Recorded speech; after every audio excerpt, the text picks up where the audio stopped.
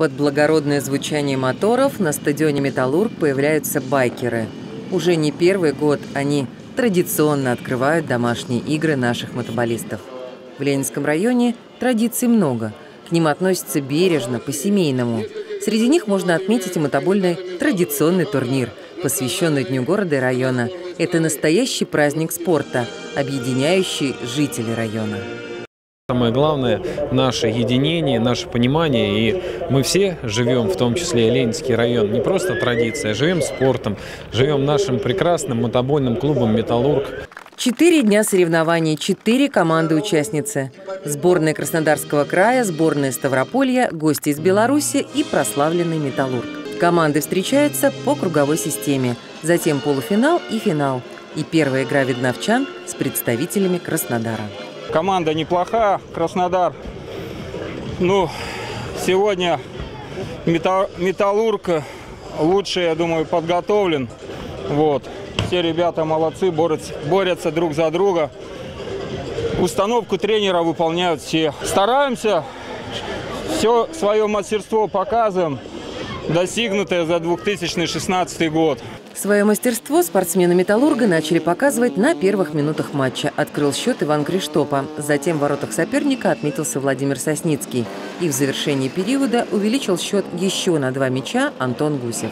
Вливаем немножко молодежь. Э, по счет, видите, уже 4-0. И мы поставили, всего лишь поменяли за защитника, поставили Антона Гуцарева вместо Владимира Сосницкого. А так пока все те же.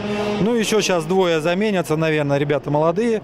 Обкатываем, обкатываем и готовим их на будущее. Во втором периоде игрок основы Иван Криштопа сумел забить еще один гол, а опытный вратарь «Металлурга» Алексей Семенов отбить не один мяч соперников.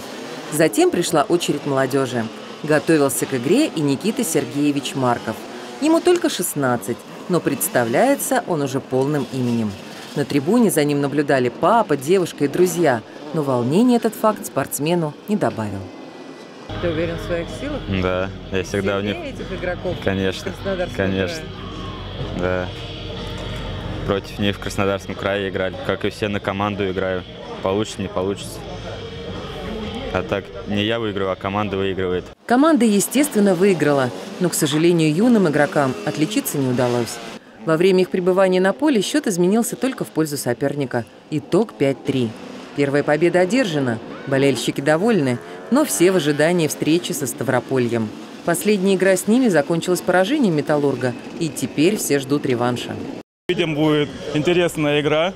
Очень, думаю, жесткая будет, потому что нужно брать матч-реванш. И я думаю, победа будет за нами. Мы все сделаем, чтобы выиграть на домашнем поле.